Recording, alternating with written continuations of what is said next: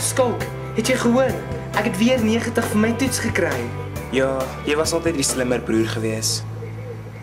Skalk, staan terug. Kyk, Christof. Skalk, moenie 'n draadsitter wees nie, kom help my. Armand, ek is jammer oor vroeër vandag.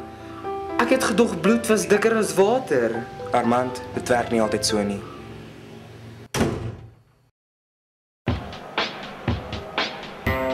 Kyk wie is weer hier.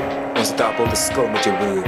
Nee, Christof, ek bly by my broer. Dink jy jy is kaas? Die poppe gaan dans.